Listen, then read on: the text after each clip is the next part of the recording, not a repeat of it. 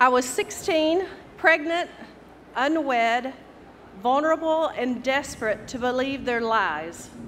I was told three lies that day in the abortion clinic, three lies that would impact my life and the life of my unborn child.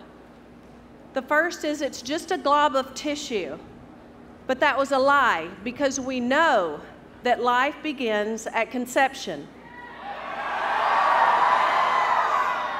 The second was I was told your body will heal and be as good as new in a couple of days.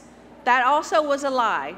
My body was never the same, and I was never able to carry a child to full term.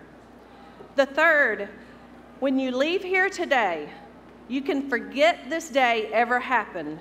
Again, that was a lie. That was 40 years ago, and every day of my life, I think of that day. These lies and many others nearly cost me my life, my family, my children that I carried and birthed. It did cost me two children and generations of grandchildren. But God,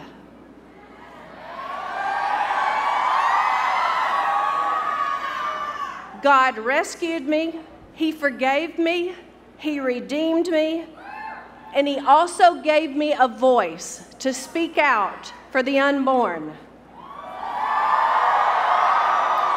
He gave me a voice to speak the truth and not lies.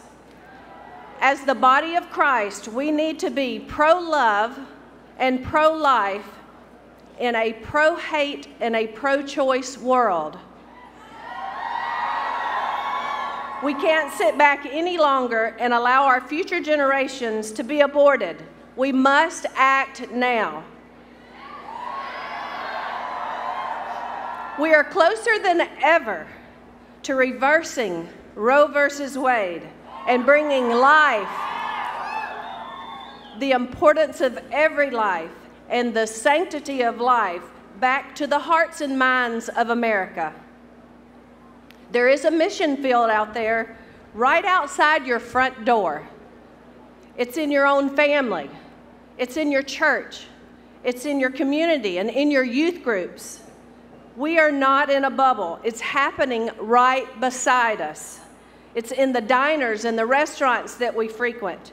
It's in our hair and nail salons, in the grocery stores and shopping malls, and in those little boutiques that we like to shop in. Everywhere you look, young women are making decisions out of despair and because of the lies that they hear. We have to be pro adoption as well. When, when Roe versus Wade is overturned, we will need families to adopt the children that are saved.